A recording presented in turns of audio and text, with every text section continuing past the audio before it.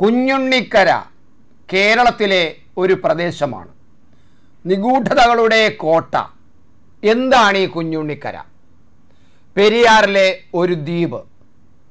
Popular ഫ്രണ്ടിന്റെ പരിശീലന കേന്ദ്രമെന്ന് കേന്ദ്ര ഏജൻസികൾക്ക് ബോധ്യമായ ഇടം. അധ്യാപകന്റെ കൈവെട്ടാൻ പ്രതികൾ പരിശീലനം നേടിയത് പെരിയാറിലെ ഈ ദ്വീപ് താവളത്തിലായിരുന്നു എന്നാണ് വിലയിരുത്തുന്നത്. പിന്നീട് പല വിധ്വംസക പ്രവർത്തനങ്ങളുടെ ആസൂത്രണവും പരിശീലനവും ഇവിടെ നടന്നെങ്കിലും ആ രാവണൻകോട്ടയ്ക്ക് മുദ്ര വയ്ക്കാൻ കഴിഞ്ഞത് എൻ ഐ എ നടത്തിയ സർജിക്കൽ സ്ട്രൈക്കിലൂടെ മാത്രം. മാസങ്ങൾക്ക് മുമ്പ് പോലീസ് പൂട്ടി മുദ്ര വച്ച പോപ്പുലർ ഫ്രണ്ടിന്റെ ആലുവ കുഞ്ഞുണ്ണിക്കരയിലെ പെരിയാർ വാലി ക്യാമ്പസ് നിഗൂഢതകളുടെ കോട്ട തന്നെയാണ്. ഒരു വ്യാഴവട്ടം മുമ്പ് പോപ്പുലർ ഫ്രണ്ടിന്റെ താലിബാൻ മോഡലിന് തുടക്കം കുറിച്ച കൈവെട്ട് കേസിലാണ് കുഞ്ഞുണ്ണിക്കരയിലേക്ക് മാധ്യമ ശ്രദ്ധ എത്തുന്നത്. അധ്യാപകന്റെ കൈവെട്ടാൻ പ്രതികൾ പരിശീലനം നേടിയത് പെരിയാറിലെ ഈ ദ്വീപ് താവളത്തിലായിരുന്നു. പിന്നീട് പല വിധ്വംസക പ്രവർത്തനങ്ങളുടെ ആസൂത്രണവും പരിശീലനവും ഇവിടെ നടന്നെങ്കിലും ആ രാവണൻകോട്ടയ്ക്ക് മുദ്ര വയ്ക്കാൻ കഴിഞ്ഞത് എൻ ഐ എ നടത്തിയ സർജിക്കൽ സ്ട്രൈക്കിലൂടെ മാത്രമാണ്. ഭൂമിശാസ്ത്രപരമായ പ്രത്യേകതയാണ് കുഞ്ഞുണ്ണിക്കരയെ സംസ്ഥാനത്തെ പ്രധാന പ്രവർത്തന കേന്ദ്രമായി പോപ്പുലർ ഫണ്ട് സൂക്ഷിക്കാൻ കാരണം. പെരിയാറിനാൽ ചുറ്റപ്പെട്ട ഇവിടേക്ക് കടക്കാൻ ഒരു വഴിയേയുള്ളൂ. കുഞ്ഞുണ്ടിക്കര ഉൾക്കൊള്ളുന്ന ദ്വീപിലേക്ക് പ്രവേശിക്കാൻ രണ്ട് പാലങ്ങളുണ്ടെങ്കിലും അതിലൊന്നിലൂടെയേ അവിടെ എത്താനാവൂ. രണ്ടാമത്തെ ദ്വീപിന്റെ മറ്റൊരു പ്രദേശത്തേക്കാണ് പോകുന്നത്. ഈ രണ്ടു ദേശങ്ങളും തമ്മിൽ സുഗമമായ റോഡ് ഗതാഗതമില്ല. മറ്റ് സംസ്ഥാനങ്ങളിലെ കുറ്റകൃത്യങ്ങളിൽപ്പെട്ടവരുടെ ഒളിത്താവളം കൂടിയായിരുന്നു ഈ ദ്വീപ്. രാത്രിയുടെ മറവിൽ ഇവിടെ വന്നുപോയിരുന്ന ഇതര സംസ്ഥാന വാഹനങ്ങൾ നിരവധിയാണ്. ഓഫീസ് മാത്രം ഒരേക്കറോളം സ്ഥലത്താണ്. പോലീസിന് പോലും പ്രവേശിക്കാൻ അനുവാ അനുവാദമുണ്ടായിരുന്നില്ല.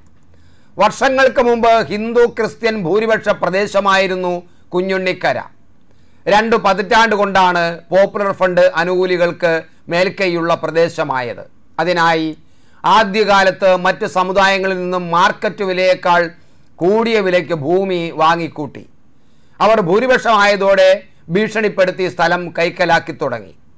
ഇവരെ അനുകൂലിക്കാത്തവർക്ക് നാട് വിട്ടു പോവുകയോ നിശബ്ദരാവുകയോ ചെയ്യാതെ വയ്യെന്നായി.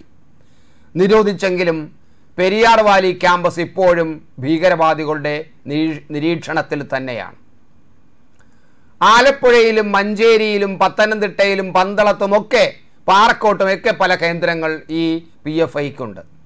നിരോധിത മതഭീകര സംഘടനയായ പോപ്പുലർ ഫ്രണ്ടിന്റെ മണ്ണഞ്ചേരിയിലെ ഓഫീസും എൻ ഐ എ കണ്ടുകെട്ടിയിട്ടുണ്ട്.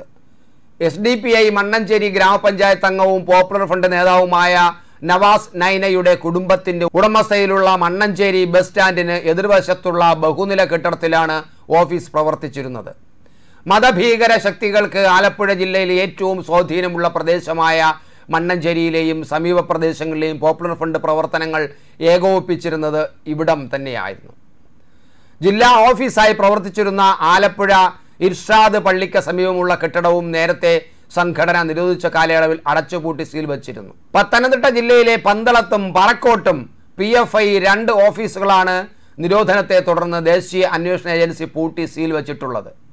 പറക്കോട്ട് വ്യാപാര ഭവന് സമീപമുള്ള രണ്ട് നില കെട്ടിടത്തിൽ പി എഫ് ഐ ജില്ലാ കമ്മിറ്റി ഓഫീസാണ് പ്രവർത്തിച്ചിരുന്നത്. പന്തളം കടക്കാട് ഇളമയിൽ മുനിസിപ്പൽ സ്റ്റേഡിയത്തിന് സമീപത്താണ് രണ്ടാമത്തെ ഓഫീസ് ഉണ്ടായിരുന്നത് പത്തനംതിട്ട സ്വദേശിയുടെ ഉടമസ്ഥയിലുള്ള കെട്ടിടവും നിലവിൽ എൻ എ സീൽ ചെയ്ത നിലവിലാണ് നിലയിലാണ്.